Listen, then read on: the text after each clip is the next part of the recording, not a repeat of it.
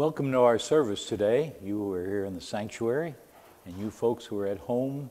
We're so glad to have all of you with us today as we worship the Lord together.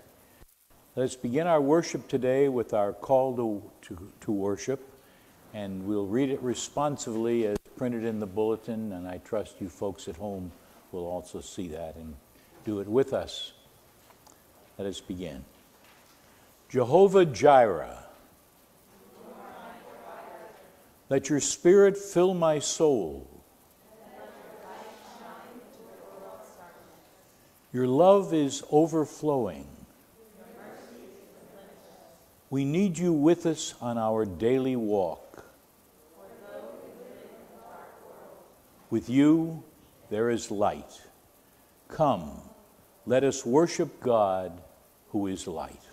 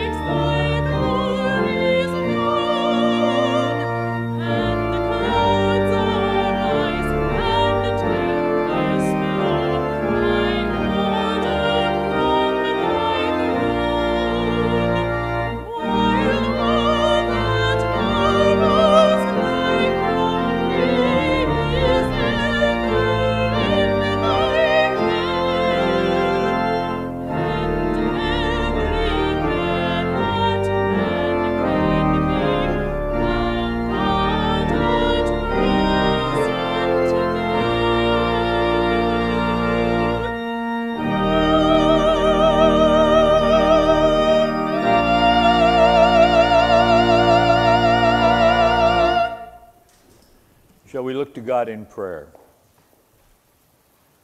Loving God, we praise you that you offer us hope. And we ask that in this worship service today, you would grant us grace to ground our lives in your vision, so that we may have hope when all seems hopeless. For we ask this in the name of the Lord Jesus, who taught us to pray. Our Father, who art in heaven, hallowed be thy name. Thy kingdom come, thy will be done, on earth as it is in heaven. Give us this day our daily bread, and forgive us our debts as we forgive our debtors.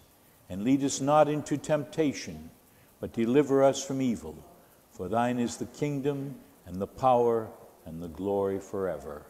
Amen.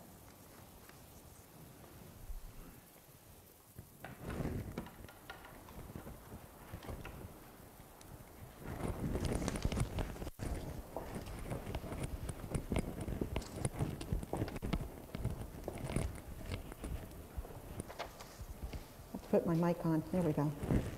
Okay. Good morning. I would like to welcome everyone to worship this morning, either here in the sanctuary or at home. Good morning, folks at home, wherever the camera is. Um, I would like to invite everyone at home um, to print off the music at the bottom of the email with our Zoom link for the um, Sunday morning worship so that you may participate and sing um, the hymns at home, because we're singing them here. Uh, you're just lucky that you don't have to do it behind your mask. um, Pastor Mark will be starting a class following the service this Sunday for those, right? For the Pastor Burke. It says Pastor Burke here, and I said Pastor Mark. Sorry. Um, sorry. My, as the kids say, my B. Um, for those interested in learning about baptism or church membership, um, please contact the church office or actually hang around, and, and um, Pastor Burke will be able to um, direct you and let you know what's what. Um, some of the uh, some of the SCBC ladies had a nice time on Friday night, both in person and on Zoom. Uh, we started off with a little stretching to get our juices flowing, and then we followed it up with some conversation. Um, the goal is to do this once a, once a month and bring it outside, actually, as soon as the weather gets warm enough to do so, um, so that more ladies can come and join in. Um, and I hope everyone can join in next time. The church council meets at 12:30 today. Uh, there was a Zoom link sent out in an email by our church early bird, apparently Mallory, um, at 5:14 a.m. yesterday. Um, just check your email for the thread from Neil at, at a decent hour. Um, he sent it out on Friday. And the children will be dismissed after the Old Rugged Cross. Thank you.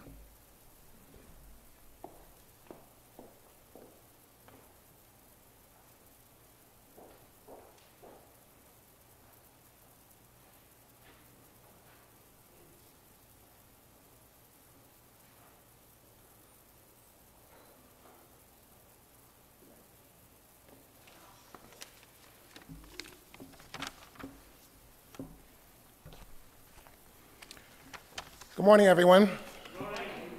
Uh, my name is Brian Clark, and I'm the chair of the Senior Pastor Search Committee. Over the last several months, the search committee has reviewed, assessed, and interviewed a number of individuals who have applied to be the next senior pastor of Scarsdale Community Baptist Church. The search committee has identified and unanimously voted to make a recommendation for Pastor Dan Hintz to be our next senior pastor. So I, I think that's some great news.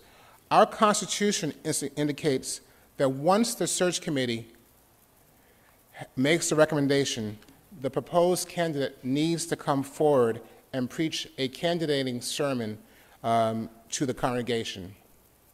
We have scheduled um, March 14th as that Sunday. So that's a couple of Sundays from now. And I really want to encourage everyone to make every effort to attend, either in person or virtually, uh, to hear and worship with us um, that Sunday where Pastor Hintz will be here. We are planning on a number of events for the period of March 10th through March, March 14th. Pastor Hintz currently resides in Wisconsin and he'll be flying in and going through the COVID protocols, but we're scheduling and working through a number of events that we'll be hosting. Um, and the idea around that is to give our congregants as much opportunity as possible to interact and get to know uh, Pastor Hintz and his family um, leading up into the 14th. Will Fowler, who is on the Senior Pastor Search Committee, um, has been asked, volunteered to lead this effort and, and an email communication will be going out um, in the next few days um, with the different events that will be hosted between that period of time, um, March 10th through March 14th, so that everyone has a chance to participate. Um, both folks who have been coming into the sanctuary or into the building, as well as folks who have been remote throughout this period of time. In addition, a bio of Pastor Hintz will be made available and distributed to all the members, so you'll have some background information on him. Once we have that service on March the 14th, um, what the Constitution calls for is for us as a congregation to have a vote. And we're working through the logistics of that, if it's going to be that day, later in that day, or early in the week. But we'll, we'll, we'll communicate that out in the next um, few days in terms of what the plans are. So overall, great news. Um, the search committee has been able to identify a great new senior pastor, um, an undertaking that no one knew um, how it would unfold when you think about it in the midst of a pandemic. And uh, it's been a blessing, um, and it kind of reflects, once again, something that we all know that God is in charge. So, once again, please make every effort to attend in person or via Zoom on March 14th uh, to worship with us as we hear from Pastor Dan Hintz. And in addition, please uh, look into your email because we'll be sending out information about the different activities and events which will be hosted through that period of time. Uh, so, thank you.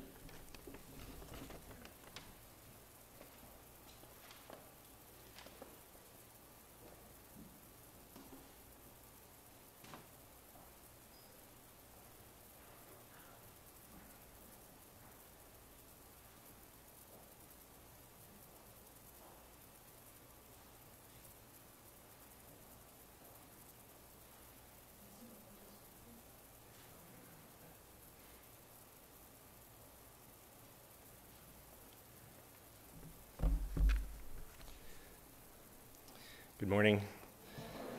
The scripture reading this morning is from 1 Corinthians chapter 15, verses 1 through 11. The resurrection of Christ. Now, brothers and sisters, I want to remind you of the gospel I preached to you, which you received and on which you have taken your stand. By this gospel you are saved, if you hold firmly to the word I preached to you. Otherwise, you have believed in vain.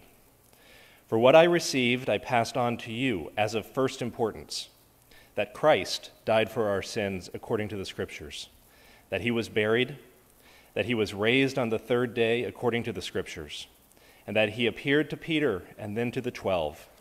After that, he appeared to more than 500 of the brothers and sisters at the same time, most of whom are still living, though some have fallen asleep. Then he appeared to James, then to all the apostles. And last of all, he appeared to me also as to one abnormally born. For I am the least of the apostles, and do not even deserve to be called an apostle, because I persecuted the church of God. But by the grace of God, I am what I am, and his grace to me was not without effect. No, I worked harder than all of them, yet not I, but the grace of God that was with me. Whether then it is I or they, this is what we preach and this is what you believed. This is the word of the Lord.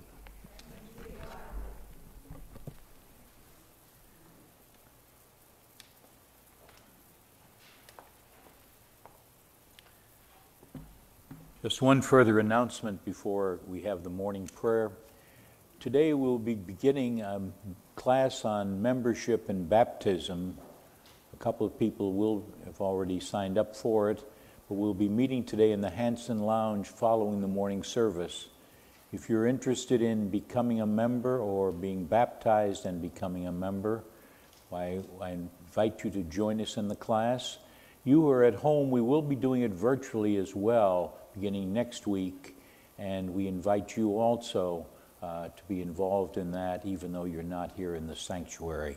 So we look forward to that uh, today in the Hanson Lounge following the morning service. Let's look to God in prayer, shall we?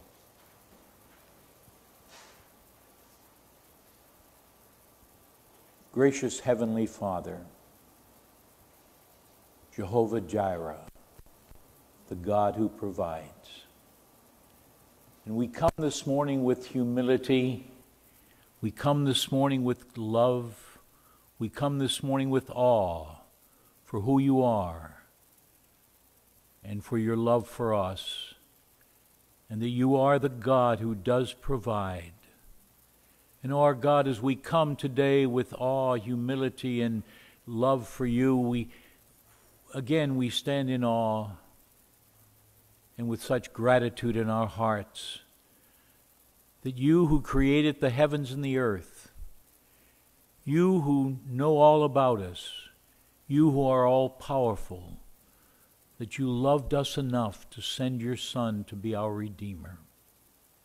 Oh, our God, we just pray that daily during this Lenten season, we'll focus on you and on what you did for us and on your Son and his work on Calvary's cross, and that we in ourselves would examine our own lives.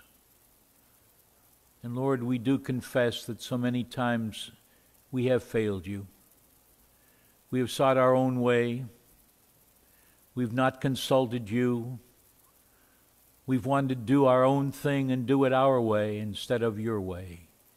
And we ask your forgiveness for that. And our Father, we pray that in the days ahead that we'll be more attuned with you, that we will seek your presence in our lives daily, that we would experience your presence. And Lord, we realize that when we do that, it, it gives us such joy, it gives us such a feeling of security. But then, our God, we confess that sometimes, even in our prayers, we're selfish. We want what would benefit us. Oh, our God, help us be more mindful of you and seek what would honor you most, and that would also reach out and help others rather than just praying for ourselves. And so, our Father, today as we're gathered here in this service, we do pray for each one here and each of our church members and friends who are listening at home. That you would meet our needs according to your will, that you would bless. And then, Father, we think of others who are going through difficult times. We think of Ellen Heffron's daughter, Kristen, recuperating from surgery. Lord, we pray you'd be with her that you would give her the grace she needs as she goes through this difficult time of recuperation. You'd guide those who care for her also to help her. We pray for Will Tejan as he recuperates from the COVID virus there at his dorm room in Rochester, New York. We pray, Lord, for healing for him and also for your grace to sustain him. And then, Lord, we think of others others who are going through difficult times, family members of our church family, some who are being tested for various illnesses, and we pray you'd guide the doctors who care for them and bless them, Lord. And then, Father, we pray for people who are afflicted with the virus. We pray for healing. We think of the families of those who have died because of it. Lord, we just pray that your grace would sustain them, that your peace, which passes all understanding, would watch over them like a sentinel day by day. We think even of some churches that have lost their pastor due to the virus, that you would sustain and bless those churches. Our Father, again, we pray as we pray for our church, and we give you thanks, Lord, for our search committee. And we give you thanks that the pastoral candidate will be coming soon to meet the congregation. We pray your blessing upon him as he prepares, and your blessing upon the congregation as we prepare for his arrival. Our Father, we ask today not only for ourselves, but we think of missions throughout our nation. We think of home missions. We know that you have called us not only to care for ourselves, and we, we believe that's important, but Lord, you have called us to reach out with the message of the gospel, both at home and throughout our own country and throughout the world. And we ask, as we think of our missionaries, we ask, Lord, you'd give us a greater burden for missions. For Father, we, we know and we confess that a church that doesn't have a mission burden is a dying church. And we pray, Lord, that you would give our churches, not only ours, but all churches that preach the Word of God, a greater burden for missions. Now we ask your blessing upon us in this service, and we'll give you all the praise and the glory, for we ask this in Jesus' name with thanksgiving. Amen.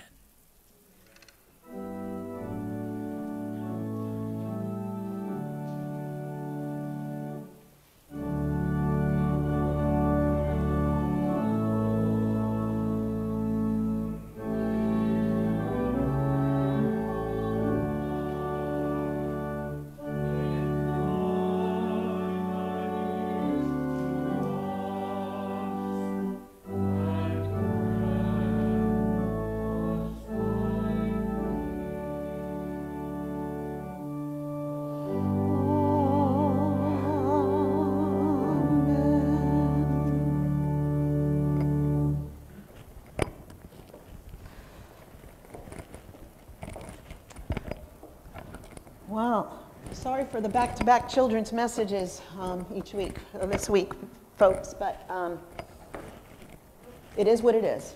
Okay. Um, we have a small but mighty crowd of, of children in the sanctuary to, in the sanctuary today.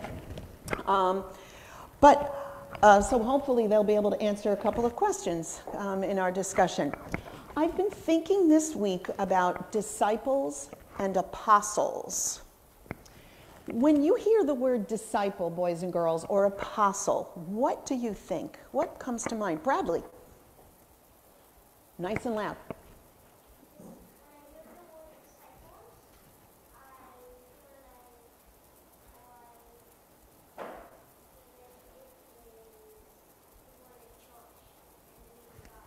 Everyone in church who believes in God. Well, I'm done here because that's exactly. here's, the, here's the point never ask a smart child an answer in the beginning of a children's message. No, no, you're, you're right. You're absolutely right. Everyone who's here and, and, and um, in church and everyone who is here to learn about God. Okay, I used to use the word apostle and disciple you know, interchangeably. You know, for, I used to think they were kind of the same thing, but actually they're not. One's a continuation of the other. The, the word disciple means learner or student, and the word apostle it means messenger or the one who is sent to, out to teach people.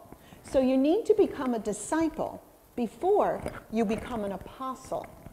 All right, so actually, this membership class that Pastor Burke was talking about, about membership and church membership, they're really teaching people to be a disciple. They're teaching people to be disciples so that they can become apostles. All right, we need to learn about God and, um, and then go out and tell everybody else about Him. Okay, now, um, I love this song, There Were 12 Disciples. I cannot remember anything unless it's set to music. I can, I can name all, I can list all 50 states um, in alphabetical order because I learned it as a song. I can sing you the books of the Old and New Testament because I learned them as a song. And I also learned um, that there were 12 disciples as a song. And I used to teach this in children's church when we had children's church. So when we're back to that, the kids will learn this too. Goes. There was 12 disciples Jesus called to help him. Simon, Peter, Andrew, James, his brother John, Philip, Thomas, Matthew, James, the son of Alphaeus, Thaddeus, Simon, Judas, and Bartholomew. He has called us to, He has called us to. We are His disciples. I am one and you. He has called us to, He has called us to. We are His disciples. We His work must do. All right, so we His work must do. What work is that? I boiled it down. Thank you, thank you. I, and I actually stole that song. I didn't even make it up. So, so how's that? But it's a great way to learn the, the name of the 12 disciples. But, all right, I boiled this whole idea of discipleship and then apostleship to three steps. What are the three major things that you think that, um, that disciples are supposed to learn and then go out and teach? I boiled it down to the first. Yes. Oh, well, we got Athena in the back. Yes, Bradley. Say it. Children. Children. Children are so important. Yes, children need to learn all this too. Miss Athena, did you have something to say nice and loud, loud and proud?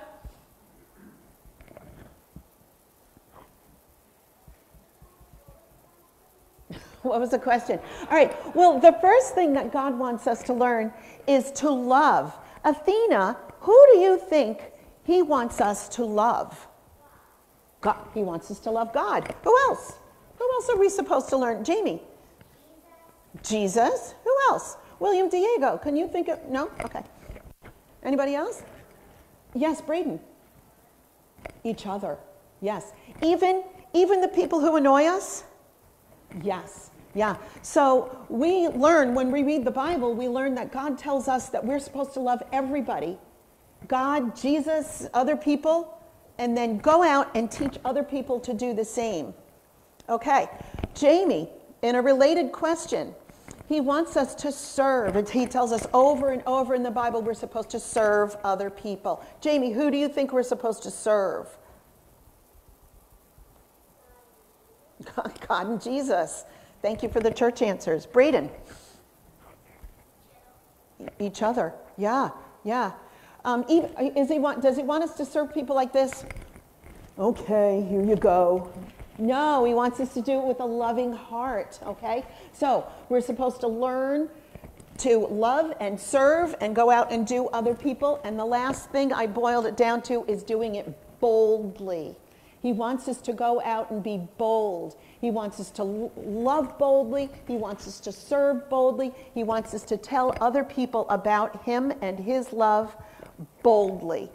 All right? So, all of the apostles, I'm uh, sorry, all of the disciples and all of the apostles here and in the sanctuary, let's follow those three, wor- those three um, uh, commandments that God, that God wants us to learn and then go out and do. He wants us to be his disciples, and then he wants us to be his apostles. Let's pray. Hold that thought, Jamie. Gracious God, please let us to be bold. Give us courage. Because sometimes it's difficult to love people we don't love and to serve people we don't really like very much. Um, but you, you t- don't tell us to only do it to people who, are, who it's easy to do it to. He wants us to love and serve um, maybe people who are unkind to us but he, he, he, loves, he loves us all and he wants us to love um, other people the way he loves them. Lord, thank you and give us that boldness and that courage. I thank you for everything you've given us in your son's precious name. Amen.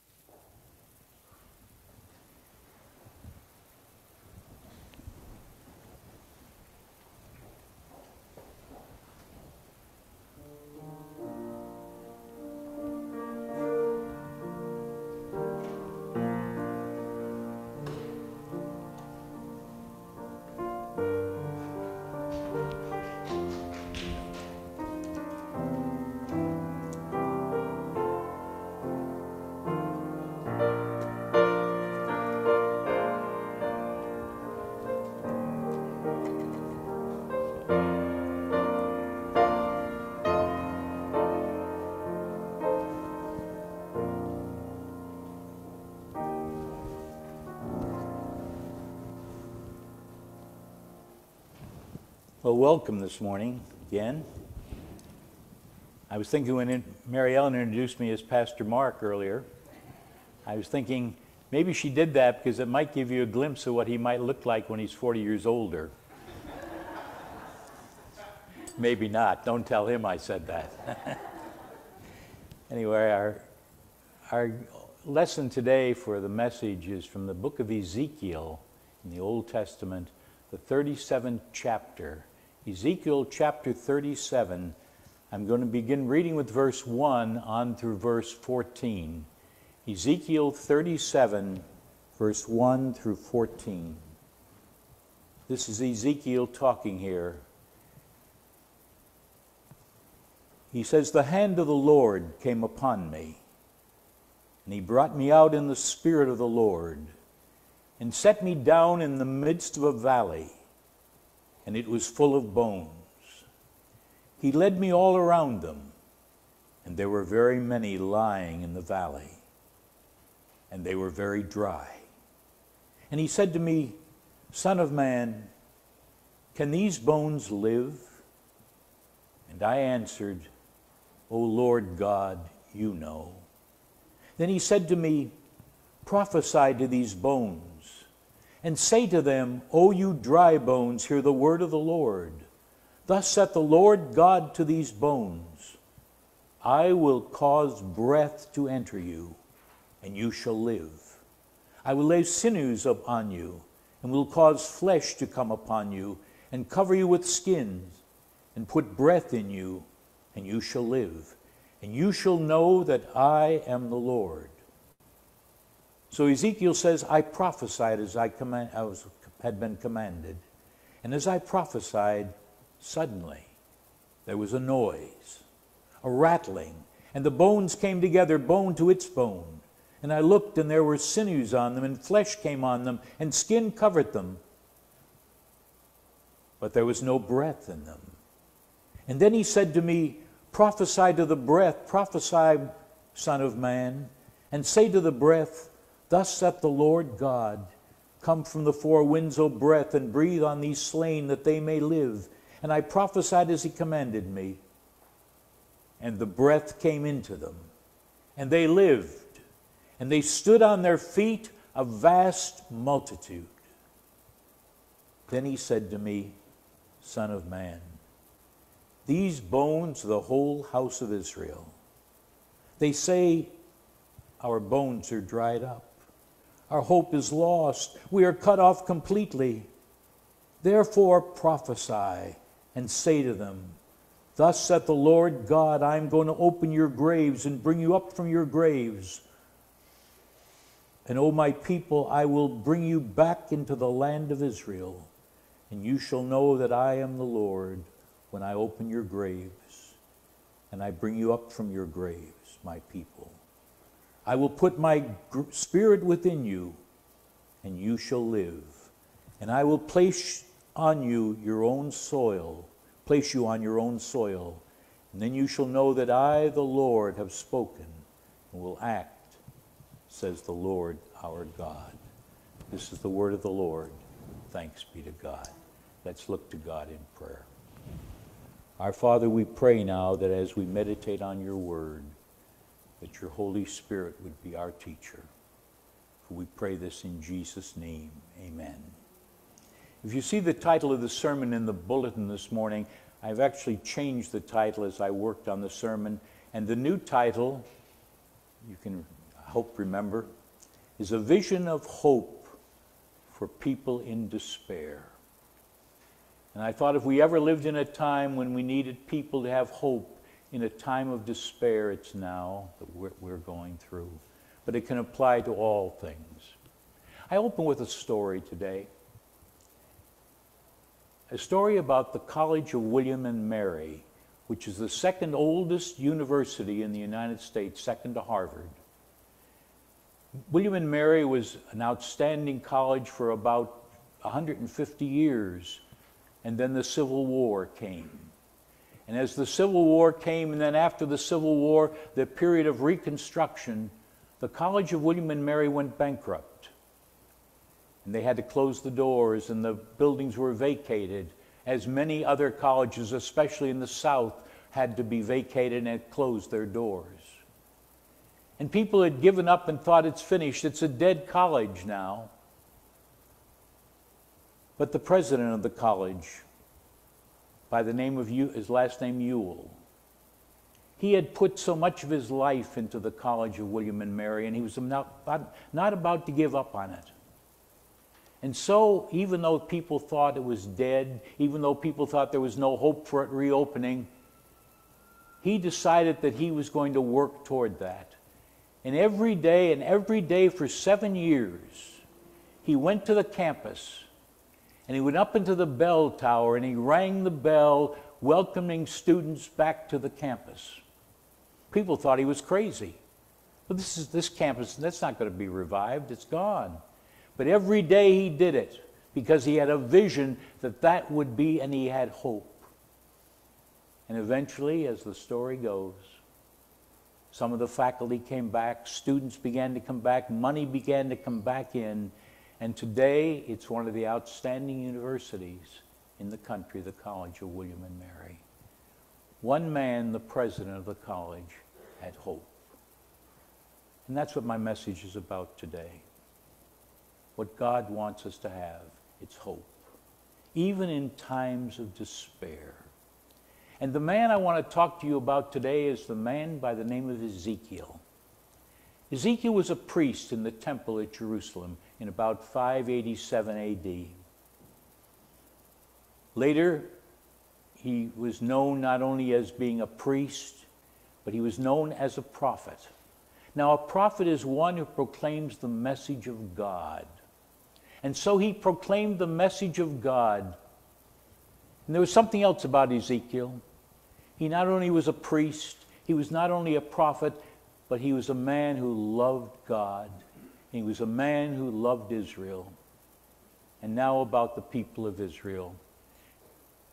In about 587 AD, Babylon, under the leadership of King Nebuchadnezzar, stormed the southern kingdom of, of Israel, known as Judah, and they began a war with them. The war lasted 13 years. One third of the soldiers who were in the war died in battle. One third literally died of famine. And then a one third, not only of soldiers, but one third of leaders of the people of Judah were taken into exile by the Babylonians when they won the skirmish. And the battle, it's interesting, would take place in a valley when they were not no longer battling each other, they would go up into the hillside and that's where they would stay. But when they come to battle, they would go down into the valley. And then during this period of exile, and by the way, Ezekiel was also taken into exile for many years. Now, going to the children of Israel, a thousand years before, they were delivered from the bondage in Egypt and they praised God for his deliverance, deliverance through the wilderness to the promised land. A thousand years, though. A thousand years, a lot of things changes. People get used to all the good things that God provides, and before long, and we know that happens even today, doesn't it? They began to forget, forget what God had done for them. And before long, they began to sin and turn away from God and then the result was they were attacked and taken over by the Babylonians for many, many years. But you see, even though God undoubtedly allowed that, God never stopped loving them. And he sent a prophet priest who also loved them, Ezekiel.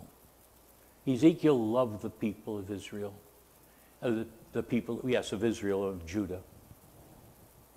And his heart was burdened for them.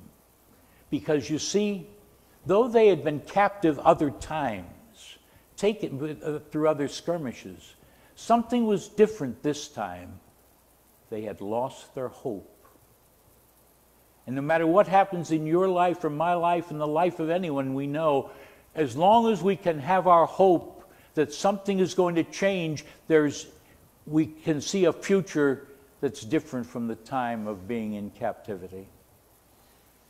And so, out of his love for them, undoubtedly he was praying. And then God comes to him in a vision. Now, we don't know whether God came to him in a vision through a dream or whether God took him out into a valley. We don't know exactly. Probably, I believe it probably was a dream that God gave him. And God took him down into the valley where the skirmishes had been, the battles had been. And in that valley, it says, there were bones all over the place. Not connected together, but just bones everywhere. And it says not only were there bones all over the valley, but the bones were very dry. So that if you touched a bone, it would just scatter to dust and be gone. And God shows Ezekiel this valley of bones to show Ezekiel the condition of the children of Israel. Because they had lost their hope, they were like dry bones in an open valley. Then God asks Ezekiel a question. He says, Son of man, can these bones live? In other words, is there hope for them? I love Ezekiel's answer. He says, Lord God, thou knowest. God, you know all about it. Isn't that wonderful? No matter what you're going through, somebody else might not understand. They might not even care, but God understands and God cares. He says, God, you know all about it. And God, I'm going to trust you. Oh, what a wonderful answer to God. And because he gave God that answer, God then gave him a commandment. God said to him, I want you to prophesy, Ezekiel. Now, to prophesy means two different things. Prophecy means to foretell something, to tell the future. We often think of prophecy as that. But it also means to foretell, to proclaim, to preach. And in this instance, he wanted Ezekiel as a prophet to foretell, to foretell the people that they need to go to the Word of God, to go to God, to listen to God, rather, listen to God's Word, what God had to say to them. What did God want? Now, this is what God said to them. God said to them, I'm going to give you life.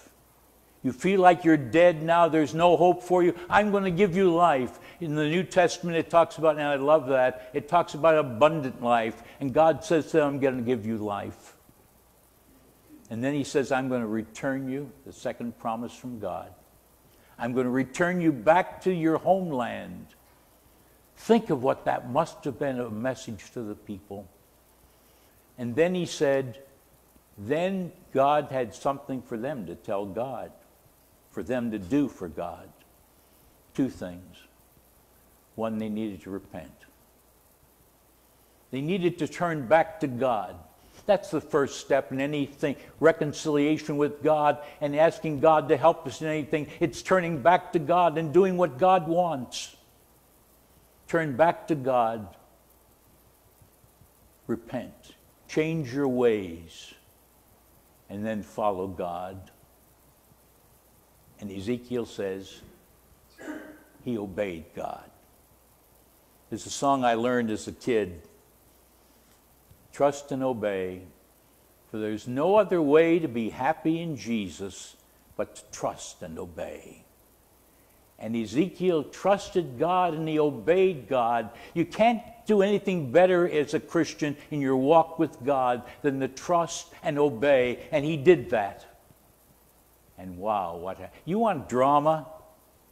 Wow, drama. It happened there. I want to be sure to read this right. I don't want to mix it up. We have a few doctors in our church, and I don't want to get it mixed up, one bone connected to the wrong bone. But they got, you know, this is one of my favorite spirituals.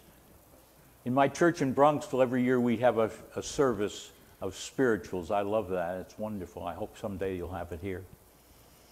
Remember that song? Dem bones, dem bones, dem dry bones. Them bones, them bones. I better put my glasses on. That's not part of the bones.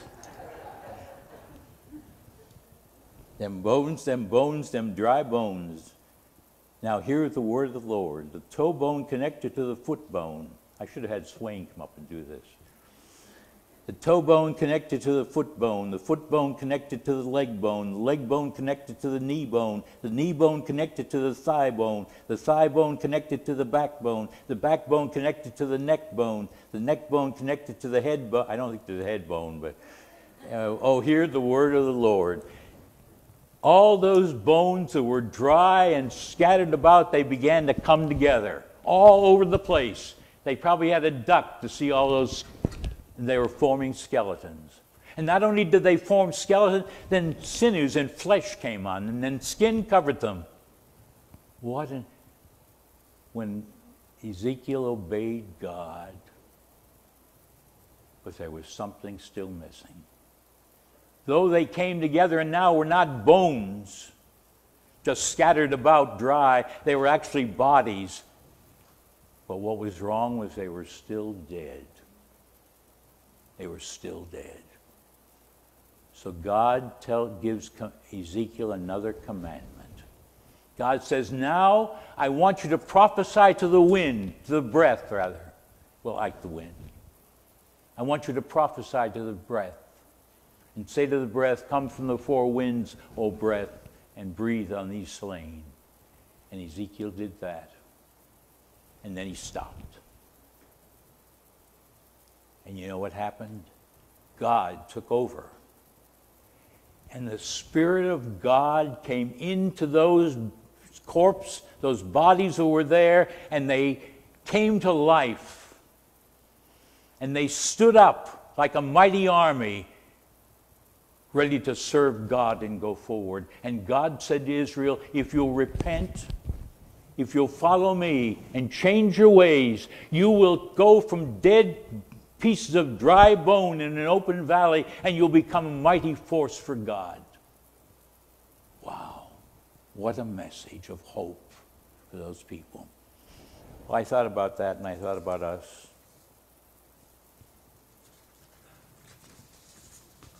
How does it apply to us? We all know what it's like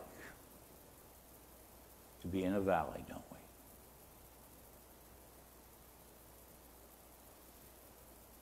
I think of a, a famous Christian author, Joni Eareckson Tada. Young lady, as a young lady, a wonderful diver, athlete hit something and she was paralyzed from the neck down from on. She turned it over to God and how God has used her. Great speaker. But I thought, I wonder when she first happened, she may have thought, is there any hope? Can I go on? That'd be a normal reaction, wouldn't it? I've st- stood at the graveside with people, widows sometimes, lost their husband. And they look down into the grave as the body is being lowered into the ground, and they say to themselves very often, and I've heard it Can I go on in that valley? Can I go on? Well, yes, we can go on if we do certain things. If we admit to God what we're going through. God doesn't want us to talk to Him with rose colored glasses. I used to talk about Sunday go to church mass, but I can't do that anymore because everybody has a Sunday mass now. But we do have mass, don't we? Everything's all right. I'm smiling away. Everything's all right like preachers sometimes, uh, you know, they get together. Well, how's your church? Oh, it's wonderful. It is fantastic. We'll talk to them about 20 minutes, for about 20 minutes. And, well, there are a few things. And the same with lay people about the preacher, too. I mean, not just one sided. But you know, we go through difficult times. We admit what we're going through. And if we have sin in our lives, we admit that to God. And then the next thing after we admit it to God, then we look to God and we trust God and say, God, you know all about it. And God, I'm going to trust you. Like Ezekiel said, Son of man, God said, Can these bones live? And he said, Lord God, you know all about it. God knows all about us, doesn't he? Can't that's why the Bible says, as a person thinks in his or her heart, so is he. Because when God looks at us, he looks beyond the outer veneer and he looks at our very hearts.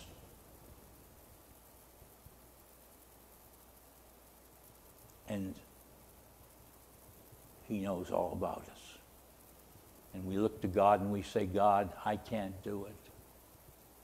I can't do it, God. But I believe you will. Now, does that mean God's going to deliver us from everything immediately? Sometimes we have to go through it. But you know what? Even greater than that, God will give us the grace to go through it.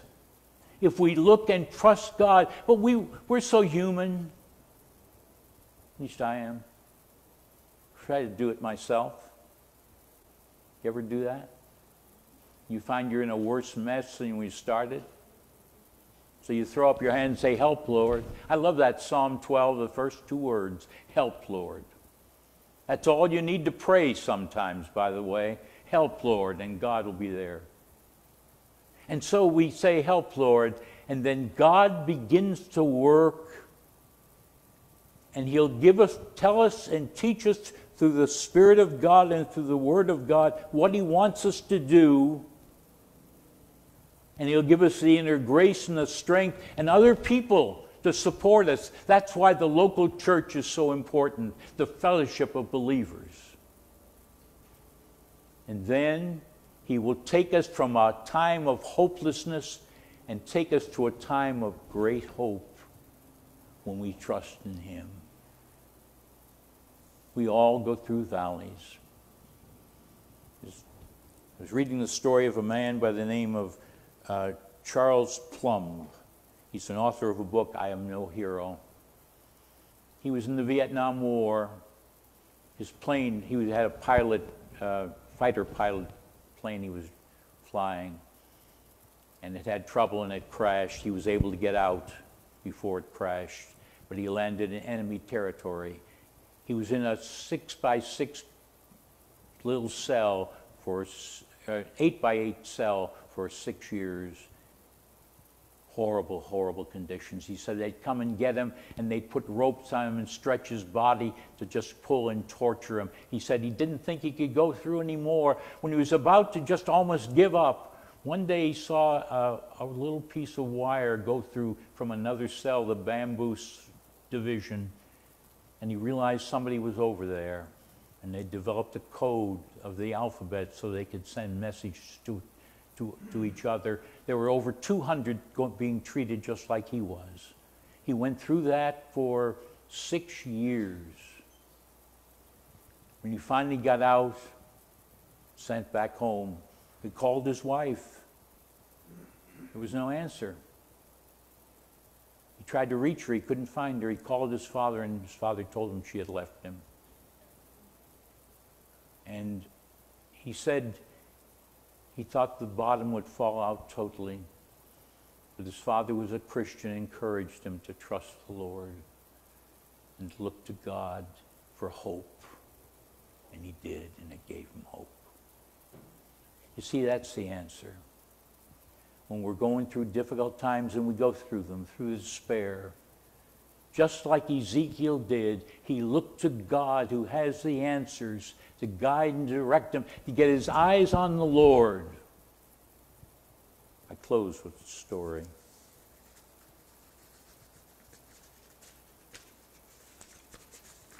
A novelist tells us, doing research for one of her novels. She was down in the Coney Island section here of New York. And she was sitting on the pier, kind of cold out, and a homeless man came and sat next to her. And they began to talk, and he began to tell her about himself and so on. And he kept saying to her, Look out there, isn't that wonderful? And she said to him, Well, what do you do when it gets real cold? He said, Well, sometimes I go to a church where there's some shelter. He said, But I prefer not to. She said, Well, why not? Why not do that? He said, Lady, look at the view. I get my eye on this view. That's what I need. That helps me. That sustains me. And as I read that, I thought, it's not a view we need to get our eyes on to see us through, is it? It's the Lord, the Lord Jesus, who will see us through. Even though we might come fighting and kicking, but God will see us through if we'll but turn it over to Him, as Ezekiel did for the children of Israel, and God sent them back to their homeland, the land of Judah. Amen. At this time, part of our worship service is receiving our tithes and offerings and giving, receiving our tithes and offerings to giving to the Lord.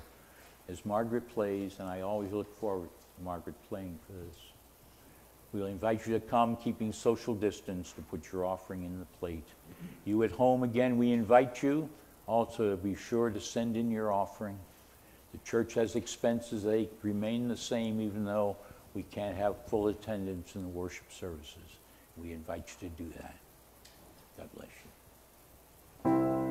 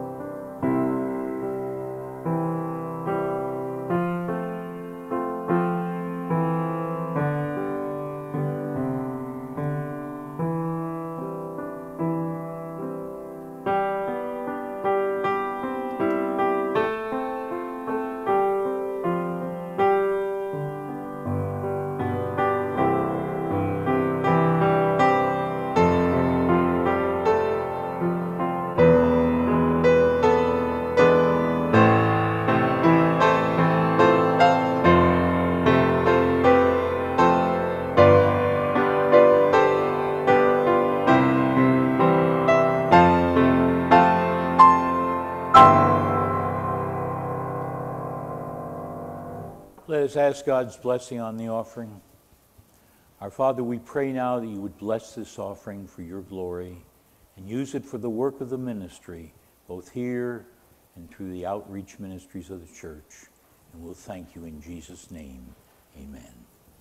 Let us sing in our closing hymn, Tis So Sweet to Trust in Jesus.